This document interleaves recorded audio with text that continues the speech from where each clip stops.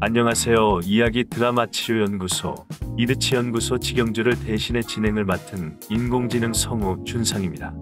이번 영상에서 말씀드릴 주제는 유튜브 채널을 1년간 운영해본 소감입니다.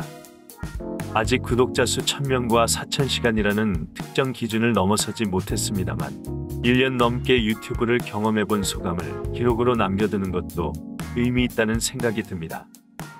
결론부터 말씀드리면 본격적으로 이드치 연구소 유튜브 채널을 1년간 운영해보니 배움이 크다고 생각합니다. 콘텐츠를 구상하고 제작하는 과정이 저에게 계속 배움이 되고 있습니다. 유튜브 콘텐츠 통계가 저에게 계속 배움이 되고 있습니다. 콘텐츠에 남겨주시는 댓글이 저에게 계속 배움이 되고 있습니다. 이 영상을 보시는 분 중에서 아직 유튜브 채널을 개설하지 않으셨고 제가 생각하는 세 가지 배움에 동의하신다면 저는 유튜브 채널 개설을 추천합니다. 유튜브에서 설정한 1000명과 4000시간이라는 숫자에서 자유로워진다면 계속 의미 있는 배움의 기회를 가질 수 있으리라 생각하고 저는 계속 콘텐츠를 제작하려 합니다. 물론 구독자 수가 특정 기준을 만족할 때마다 감사 영상을 올리겠습니다. 이드치 연구소 콘텐츠 제작은 이제 1년이 넘어가지만 유튜브 회원 가입은 10년째입니다.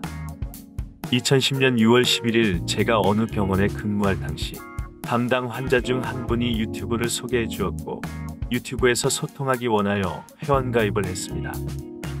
유튜브에 맨 처음 올린 영상은 무능력자 심리게임입니다.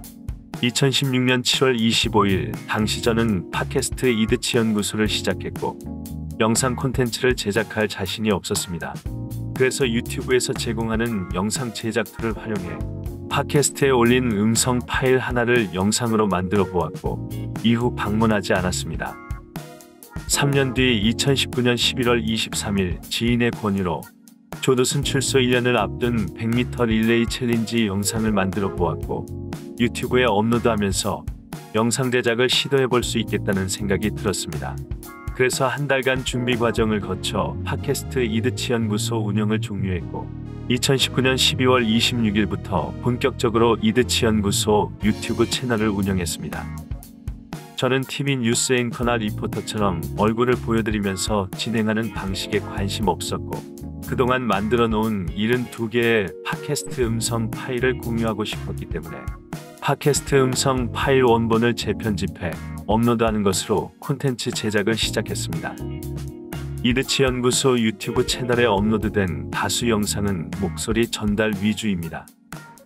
일반적인 유튜브 영상에 익숙한 분은 목소리 전달 위주의 컨텐츠가 심심하실 것 같습니다. 가끔 연구소에서 바라본 북한산 풍경을 배경으로 콘텐츠를 만들어 보기도 했고 지방 출장 중 잠시 휴식을 취하면서 콘텐츠를 만들어 보기도 했고 아주 가끔 제 얼굴을 보여드리기도 하면서 콘텐츠를 만들어 보기도 했습니다. 요즘은 개인적인 사정으로 지금처럼 인공지능 성우의 목소리를 빌어 영상을 만들기도 합니다. 언젠가 기회되면 얼굴과 동영상이 들어간 콘텐츠 제작도 시도해 보겠습니다. 이 영상을 제작하는 2021년 2월 15일 현재 이드치 연구소 유튜브 채널 구독자 수는 327명입니다. 인지도와 대중성이 낮은 콘텐츠가 많습니다만 이드치 연구소 유튜브 채널에 업로드된 콘텐츠가 누군가에게 유용한 정보가 되기를 그리고 공감의 목소리가 되기를 희망합니다. 저는 2016년부터 2019년까지 4년 동안 팟캐스트를 운영한 경험이 있다 보니 상대적으로 유튜브 채널 운영이 힘들거나 불편하거나 어렵지 않습니다.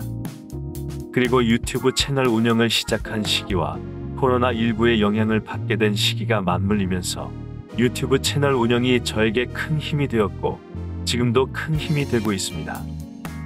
그래서 이드치 연구소 유튜브 채널에 업로드할 콘텐츠를 구상하고 제작하는 과정이 그리고 유튜브 콘텐츠 통계가 또한 콘텐츠에 남겨주시는 댓글이 저에게 배움이 됩니다. 이 배움은 이드치 연구소 직영주가 세상을 계속 배워가는데 그리고 이드치 연구소의 정체성을 확립하고 유지하는 데 큰 힘이 되고 있습니다. 최근 이드치 연구소 유튜브 채널에 올라온 댓글에 답글을 남기면서 보람 있었고 기뻤습니다. 유튜브가 사라지지 않는 한 저는 이드치 연구소 유튜브 채널을 기록 저장소와 정보 제공을 위한 장소로 잘 활용하고 싶습니다. 이드치 연구소 콘텐츠에 관심 있는 모든 분에게 이드치 연구소 유튜브 채널이 도움되기를 기원합니다. 질문이나 의견 있으시면 댓글이나 이메일 부탁드립니다. 저는 유튜브 구독자 수와 시청 시간에 얽매이지 않고 이드치 연구소의 독특한 콘텐츠를 계속 업로드하는 이야기 드라마 치료 연구소 이드치 연구소 운영자 지경주입니다. 끝까지 시청해 주셔서 감사합니다.